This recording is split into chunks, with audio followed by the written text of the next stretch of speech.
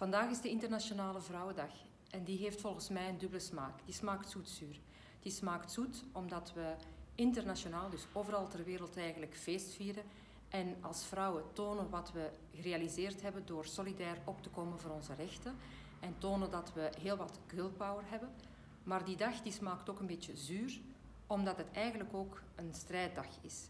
Je ziet dat er overal ter wereld, van, het noord, van noord tot zuid, van oost tot west, zie je nog vrouwen die uh, mishandeld worden, die misbruikt worden, of die nog altijd moeten bewijzen dat ze gelijkwaardig zijn als mannen. Of dat het nu gaat over gelijke rechten, gelijk loon, gelijke, gelijke taakverdeling in het huishouden, gelijke carrièrekansen.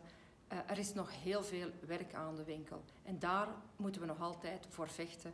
Dus, en ik hoop ook dat we dat samen kunnen doen, met iedereen, mannen en vrouwen samen. Op mijn steun, op mijn inzet kun je alvast rekenen.